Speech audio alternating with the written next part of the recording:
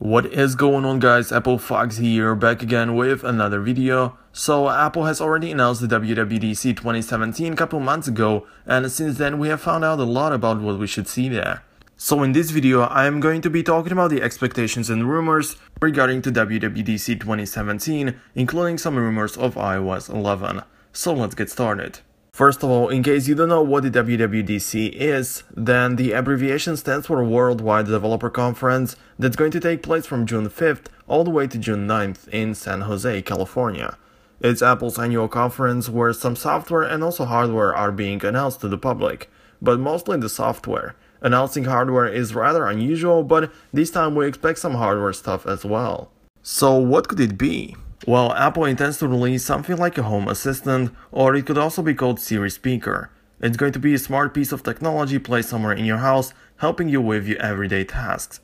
Most likely, it will also be connected to some other Apple devices like Apple TV, for example. It's actually very similar to Google Home or Google Assistant that does pretty much the same thing as the Siri speaker, but the Siri speaker has been developed by Apple. So I think it will be a better experience to use the one from Apple.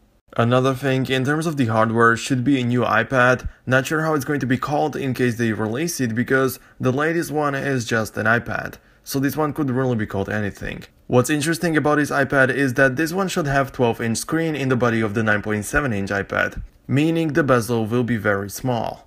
So that would be about it in terms of the hardware. Now let's talk about the software side of the conference and most importantly iOS 11. Yes, around this time we should receive the first beta of iOS 11. A lot of people want a redesigned look because last time we have received a significant redesign was when iOS 7 dropped, and that was already a couple years ago. Siri should receive a great amount of improvements. I wouldn't say that Siri right now isn't good enough, but the competitors already have the smart assistants actually smarter. Like Siri doesn't understand the context. For example, if you ask Siri who won the gold medal at the Olympics, she's gonna tell you that she doesn't know anything about the sport awards. Try it out on your own if you don't believe me. But I wanted to say that in case you ask something, you're going to get the answer. But if you keep asking about the same thing again without mentioning the name of it, Siri doesn't know what it is anymore.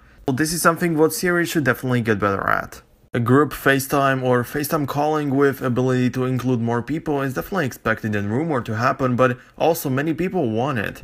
So it's not like Apple is releasing a new feature and no one cares about it. Emojis. Well, we get new emojis in every major update and this time is going to be no exception.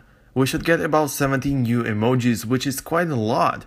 I don't really feel like the amount that we have now isn't enough. I don't think I need more, but it's nice to have something new.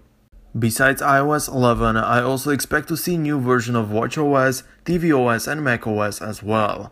All of those will be in beta of course, but we're going to see what Apple has in store for us and how well they'll implement this. So we have reached the end of today's video, thank you so much for watching, I really hope you enjoyed it.